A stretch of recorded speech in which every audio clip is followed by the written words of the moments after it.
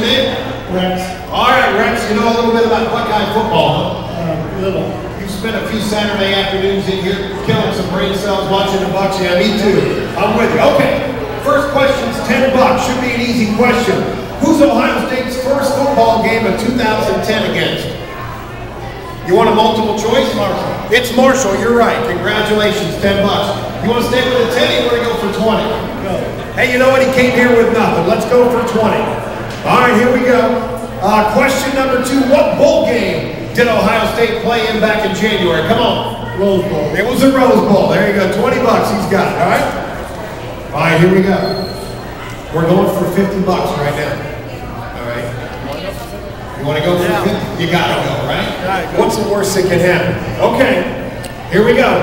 We're talking Buckeye football. Who has the most tackles in Ohio State history?